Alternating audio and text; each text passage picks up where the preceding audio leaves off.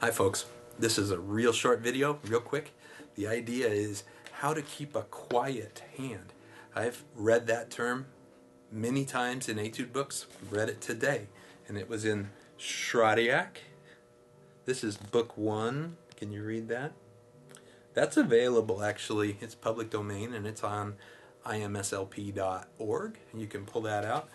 And in it, it says all the exercises are to be practiced with quiet hand position and with firm energetic setting and elastic rising of the fingers.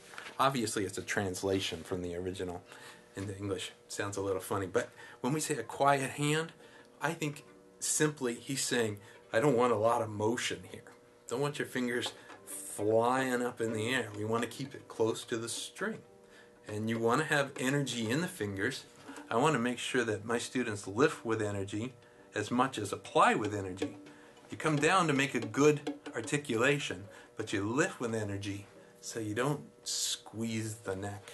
Now, the first exercise there in book one of Schradieck is really simple. It's just open A through fourth finger.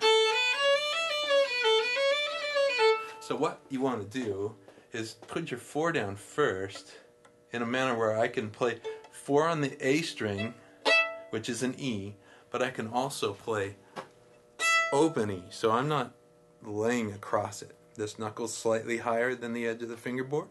And I put my four down first, then I add my three, my C sharp or my two, and my one.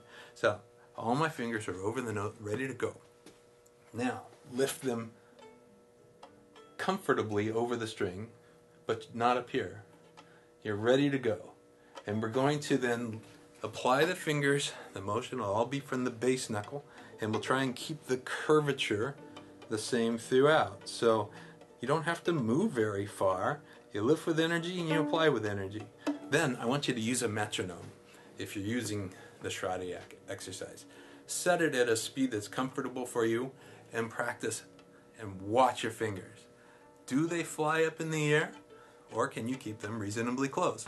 So it's not about speed yet. It's about being accurate, steady, and relaxed. If you look at this, I'm going to play it really fast here. Remember, this is just the first one in the exercise.